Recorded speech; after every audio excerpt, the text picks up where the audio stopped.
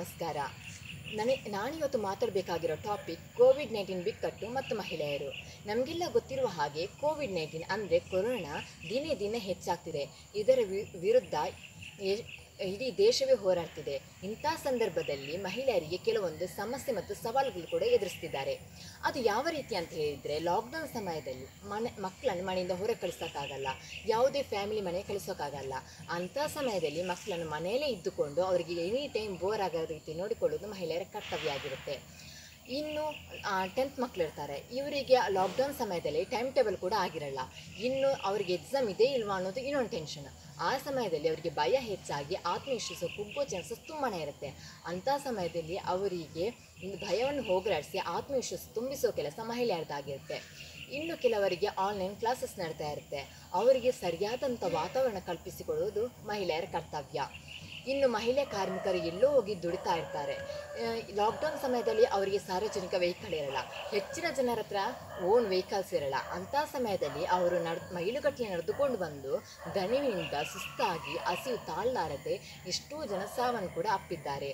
ಅಷ್ಟೇ ಅಲ್ಲ ಸೂಸೈಡ್ ಕೂಡ ಮಾಡ್ಕೊಂಡಿದ್ದಾರೆ. ಇನ್ನು ನಮ್ಮ ಭಾರತ ದೇಶದಲ್ಲಿ ಎಷ್ಟೋ ಜನ ಕೂಲಿ ಕೆಲಸ ಮಾಡಿ ಸಂಸಾರ ಸಾಗಿಸೋರು ತುಂಬ ಮಂದಿದ್ದಾರೆ. ಈ ಲಾಕ್ಡೌನ್ ಸಮಯದಲ್ಲಿ ಕೂಲಿ ಕೆಲಸ ಇರೋದಿಲ್ಲ. ಅಂಥ ಸಮಯದಲ್ಲಿ ಅವರು ಮನೆ ನಡೆಸ್ಕೊಂಡು ಹೋಗೋದು ತುಂಬ ಕಷ್ಟದ ಕೆಲಸ ಆಗಿರುತ್ತೆ. ಇನ್ನೇನು ಲಾಕ್ಡೌನ್ ಮುಗೀತು. ಕೆಲಸಕ್ಕೆ ಹೋಗೋಣ ಅಂತ ಹೇಳಿದ್ರೆ, ಕೆಲಸಕ್ಕೆ ಹೋಗ್, ಹೋಗಬೇಕಾದ್ರೆ ಸಾರ್ವಜನಿಕ ವೆಹಿಕಲ್ ಇರಲ್ಲ. ಕೂಲಿ ಕೆಲಸಕ್ಕೆ ಹೋಗೋರ ಹೆಚ್ಚಿನ ಜನ ಹತ್ರ ಓನ್ ವೆಹಿಕಲ್ಸ್ ಇರಲ್ಲ.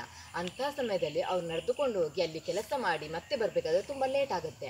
ಆ ಸಮಯದಲ್ಲಿ ಅವರಿಗೆ ಎಲ್ಲಿ ಕಣ್ಣಿ ಕಾಣದ ಕೊರೋನಾ ಅಟ್ಯಾಕ್ ಆಗುತ್ತೋ ಅನ್ನೋ ಭಯ. ಇನ್ನು ಇನ್ನು ಕೆಲವು, ಇನ್ನೊಂದು ಎಲ್ಲಿ ಯಾರಾದರೂ ಹಂತಕರು ನಮಗೇನಾದರೂ ಮಾಡ್ತಾರೋ ಅನ್ನೋದು ಇನ್ನೊಂದು ಭಯ. ಒಟ್ಟಾರೆಯಾಗಿ ಹೇಳಬೇಕಾದ್ರೆ ಮಹಿಳೆಯರಿಗೆ ಮಾನಸಿಕವಾಗಿ ಮನಸ್ಸಿನಲ್ಲಿ ಭಯ ಆವರಿಸ್ಕೊಂಡಿದೆ ಅಂತಲೇ ಹೇಳ್ಬೋದಾಗಿದೆ. ಇನ್ನು ಕೆಲವರು ಕೊರೋನಾ ವಾರಿಯರ್ಸ್ ಅಂತ ಹೇಳಿದ್ರೆ P D U, V A police ಅಧಿಕಾರಿಗಳು, ಆಶಾ ಕಾರ್ಯಕರ್ತೆಗಳಾಗಿರ್ಬೋದು, ಡಾಕ್ಟರ್, ನರ್ಸ್ ಇವರೆಲ್ಲ ಕೊರೋನಾ ವಾರಿಯರ್ಸ್. ಇವರು ತಮ್ಮ ಸೇವೆ, ತಾಳ್ಮೆ ಮತ್ತು ಸಾಮರ್ಥ್ಯ ನಾವಿಲ್ಲಿ ಕಾಣ್ಬೋದಾಗಿದೆ. ಅದು ಯಾವ ರೀತಿ ಅಂತ ಹೇಳಿದರೆ, ಕೊ ನಮಗೆ ವಾರ್ನ್ ಮಾಡಿರ್ತಾರೆ. ಅಂದರೆ ಸಂದೇಶ ಬಂದಿರುತ್ತೆ. ಎಲ್ಲಿಗೂ ಹೊರಗೆ ಹೋಗಬೇಡಿ. ಲಾಕ್ಡೌನ್ ಸಮಯದಲ್ಲಿ ಎಲ್ಲೂ ಹೊರಗೆ ಹೋಗಬೇಡಿ ಅಂತ. ಆದರೂ ಕೆಲವೊಂದು ಸ ಜನರು ಸುಮ್ಮ ಸುಮ್ಮನೆ ಮನೆಯಿಂದ ಹೊರಗೆ ಹೋಗಿ ಹೊರಗೆ ಹೋಗ್ತಾಯಿದ್ರು ಆ ಸಮಯದಲ್ಲಿ ಪೊಲೀಸ್ ಅಧಿಕಾರಿಗಳು ಒಂದೇಳು ಬಾರಿ ತಾಳ್ಮೆಯಿಂದ ಹೇಳ್ತಾರೆ ಹೋಗಬೇಡಿ ಆ ರೀತಿ. ಆದರೂ ಇವರು ಮಿತಿಮೀರಿ ವರ್ತಿಸಿದಾಗ ಪೊಲೀಸ್ ಅಧಿಕಾರಿಗಳು ಲಾಠಿ ಚಾರ್ಜ್ ಮಾಡಿ ಮಾಡಿದ್ದಾರೆ. ಇನ್ನು ಕೆಲವರು. ಕೆಲಸಕ್ಕೆ ಹೋಗೋಣ ಅಂತ ಆ, ಕೆಲಸಕ್ಕೆ ಹೋಗ್ ಹೋಗಬೇಕಾದ್ರೆ ಸಾರ್ವಜನಿಕ ವೆಹಿಕಲ್ ಇರಲ್ಲ. ಕೂಲಿ ಕೆಲಸಕ್ಕೆ ಹೋಗೋರ ಹೆಚ್ಚಿನ ಜನ ಹತ್ರ ಓನ್ ವೆಹಿಕಲ್ಸ್ ಇರಲ್ಲ. ಅಂಥ ಸಮಯದಲ್ಲಿ ಅವ್ರು ನಡೆದುಕೊಂಡು ಹೋಗಿ ಅಲ್ಲಿ ಕೆಲಸ ಮಾಡಿ ಮತ್ತೆ ಬರಬೇಕಾದ್ರೆ ತುಂಬ ಲೇಟ್ ಆಗುತ್ತೆ. ಆ ಸಮಯದಲ್ಲಿ ಅವರಿಗೆ ಎಲ್ಲಿ ಕಣ್ಣಿ ಕಾಣದ ಕೊರೋನಾ ಅಟ್ಯಾಕ್ ಆಗುತ್ತೋ ಅನ್ನೋ ಭಯ. ಇನ್ನು ಇನ್ನು ಕೆಲವು, ಇನ್ನೊಂದು ಎಲ್ಲಿ ಯಾರಾದರೂ ಹಂತಕರು ನಮಗೇನಾದರೂ ಮಾಡ್ತಾರೋ ಅನ್ನೋದು ಇನ್ನೊಂದು ಭಯ. ಒಟ್ಟಾರೆಯಾಗಿ ಹೇಳಬೇಕಾದ್ರೆ ಮಹಿಳೆಯರಿಗೆ ಮಾನಸಿಕವಾಗಿ ಮನಸ್ಸಿನಲ್ಲಿ ಭಯ ಆವರಿಸ್ಕೊಂಡಿದೆ ಅಂತಲೇ ಹೇಳ್ಬೋದಾಗಿದೆ. ಇನ್ನು ಕೆಲವರು ಕೊರೋನಾ ವಾರಿಯರ್ಸ್ ಅಂತ ಹೇಳಿದ್ರೆ P D U, V A police ಅಧಿಕಾರಿಗಳು, ಆಶಾ ಕಾರ್ಯಕರ್ತೆಗಳಾಗಿರ್ಬೋದು, ಡಾಕ್ಟರ್, ನರ್ಸ್ ಇವರೆಲ್ಲ ಕೊರೋನಾ ವಾರಿಯರ್ಸ್. ಇವರು ತಮ್ಮ ಸೇವೆ, ತಾಳ್ಮೆ ಮತ್ತು ಸಾಮರ್ಥ್ಯ ನಾವಿಲ್ಲಿ ಕಾಣ್ಬೋದಾಗಿದೆ. ಅದು ಯಾವ ರೀತಿ ಅಂತ ಹೇಳಿದರೆ, ಕೊ ನಮಗೆ ವಾರ್ನ್ ಮಾಡಿರ್ತಾರೆ. ಅಂದರೆ ಸಂದೇಶ ಬಂದಿರುತ್ತೆ. ಎಲ್ಲಿಗೂ ಹೊರಗೆ ಹೋಗಬೇಡಿ ಲಾಕ್ಡೌನ್ ಸಮಯದಲ್ಲಿ ಎಲ್ಲೂ ಹೊರಗೆ ಹೋಗಬೇಡಿ ಅಂತ. ಆದರೂ ಕೆಲವೊಂದು ಸ ಜನರು ಸುಮ್ಮ ಸುಮ್ಮನೆ ಮನೆಯಿಂದ ಹೊರಗೆ ಹೋಗಿ ಹೊರಗೆ ಹೋಗ್ತಾ ಇದ್ರು. ಆ ಸಮಯದಲ್ಲಿ ಪೊಲೀಸ್ ಅಧಿಕಾರಿಗಳು ಒಂದೇಳು ಬಾರಿ ತಾಳ್ಮೆಯಿಂದ ಹೇಳ್ತಾರೆ. ಹೋಗಬೇಡಿ ಆ ರೀತಿ. ಆದರೂ ಇವರು ಮಿತಿಮೀರಿ ವರ್ತಿಸಿದಾಗ ಪೊಲೀಸ್ ಅಧಿಕಾರಿಗಳು ಲಾಠಿ ಚಾರ್ಜ್ ಮಾಡಿ ಮಾಡಿದ್ದಾರೆ.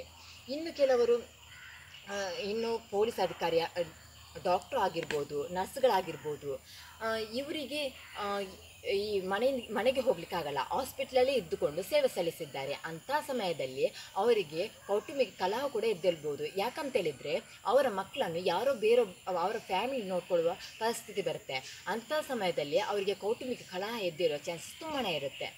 ಇನ್ನು ಪೊಲೀಸ್ ಆಗಿರ್ ಡಾಕ್ಟರ್ಸ್ ಆಗಿರ್ಬೋದು, ಆಶಾ ಕಾರ್ಯಕರ್ತೆ ಆಗಿರ್ಬೋದು ಆಗಿರ್ಬೋದು, ನರ್ಸ್ಗಳಾಗಿರ್ಬೋದು ಇವರು ಇವರ ಮೇಲೆ ಹಲ್ಲೆಗಳು ನಡೆದಿದ್ದರೂ ಕೂಡ ಇವರು ಎದೆಗುಂದದೆ ಇವರು ಸೇವೆಯನ್ನು ಸ, ಸಲ್ಲಿಸಿದ್ದಾರೆ. ಇಲ್ಲಿ ನಾವು ಇವರ ಸಾಮರ್ಥ್ಯವನ್ನು ಕಾಣ್ಬೋದಾಗಿದೆ. ಅಷ್ಟೇ ಅಲ್ಲ, ಈ ಈ ವಿಡಿಯೋವನ್ನು ನಾವು ಜಾಲತಾಣದಲ್ಲಿ ನೋಡಿರ್ಬೋದು.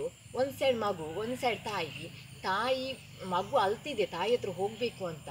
ಆದರೂ ತಾಯಿಗೂ ಅಷ್ಟೇ ಬರ್ ಮಗು ಹತ್ರ ಬರಬೇಕು, ಮಾತಾಡಬೇಕು ಹಂಬಲ ಇದೆ. ಆದರೂ ಹೋಗ್ಲಿಕ್ಕಾಗೋದಿಲ್ಲ ಅಂಥ ದೃಶ್ಯ ನೋಡಿದಾಗ ನಮಗೆ ಕಳ್ಚುರು ಅನ್ನುತ್ತೆ, ಇನ್ನು ಹೆತ್ತ ತಾಯಿ, ಅವರಿಗೆ ಹೇಗಾಗಿರಬೇಡ. ಆದರೂ ಇವರು ಇವರ ಕಾರ್ಯವನ್ನು ಇವರು ಮಾಡಿರೋದು ನಾವು ಕಾಣ್ಬೋದಾಗಿದೆ. ಅಷ್ಟೇ ಅಲ್ಲ, ಈ ಶಿಕ್ಷಕರನ್ನು ಇಂಡೈರೆಕ್ಟ್ ಆಗಿ ಕೊರೋನಾ ವಾರಿಯರ್ಸ್ ಅಂತ ಹೇಳ್ಬೋದಾಗಿದೆ. ಅದು ಯಾವ ರೀತಿ ಅಂತ ಹೇಳಿದರೆ, ಅವರಿಗೆ ಅವರ ಲಾಕ್ಡೌನ್ ಸಮಯದಲ್ಲಿ ಅವರೆಲ್ಲ ಕೆಲಸವನ್ನು ಬದುಕಿಟ್ಟು ಮಕ್ಕಳಿಗೋಸ್ಕರ ಆನ್ಲೈನ್ ಕ್ಲಾಸಸ್ ಮಾಡಿದ್ದಾರೆ. ಆದ ಕಾರಣ ಅವ, ಅವರು ಕೂಡ ಕೊರೋನಾ ವಾರಿಯರ್ಸ್ ಅಂತಲೇ ಹೇಳ್ಬೋದಾಗಿದೆ. ಇಷ್ಟು ಹೇಳಿ ನನ್ನ ಸಣ್ಣ ಪುಟ್ಟ ಭಾಷಣ ಕೊನೆಗೊಳಿಸುತ್ತಿದ್ದೇನೆ. ಜೈ ಹಿಂದ್, ಜೈ ಕನ್ನಡ ಮಾತೆ. ಧನ್ಯವಾದಗಳು.